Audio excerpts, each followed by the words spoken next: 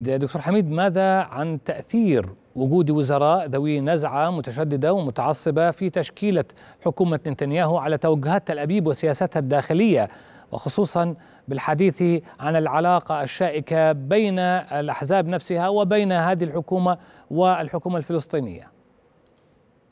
هو مما لا شك فيه إن وجود مجموعة الأحزاب الدينية في الحكومة الحالية هيسبب درجة عالية جدا من التوتر في نواحي معينة منها تشديد البعد الأمني على الفلسطينيين منها محاولة الزيادة في عدد المستوطنات بدرجة عالية مما سيضع الإدارة الأمريكية في وضع ضغط. ولكن أنا ما كنت يعني أريد إيصاله لم يكن رأيي الحقيقة ده كان ما قاله توني بلينكن وزير الخارجية الأمريكي إنه لن تقلل الدعم. فهناك ف... لإسرائيل فهناك فارق ما بين الشجب والاعتراض الشفوي على المستوى السياسي وما بين أخذ قرارات فعلية. أنا ما أقول كنت إن أمريكا قد تشجب أحيانا وقد تعترض في بعض الأمور ولكن لن يصل الأمر كي... حسب ما قال توني بلينكن مش ده راي إن هو لن يصل الأمر إيه؟ لقرارات فعلية تغير في العلاقة الاستراتيجية.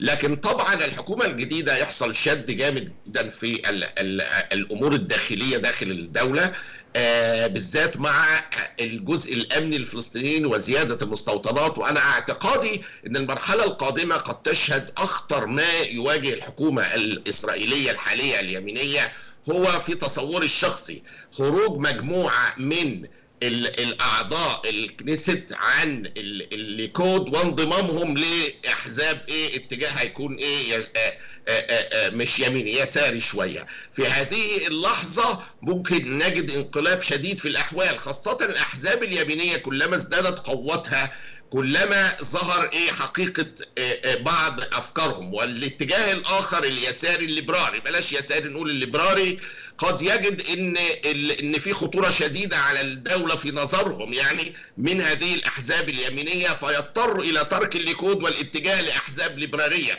في هذه اللحظة ممكن نتنياهو يخسر حكومته ونشهد مرحلة جديدة في تكوين الحكومة الإسرائيلية. وأعتقد الأمر ده في تصوري وتحليلي الشخصي هو قابل للحدوث.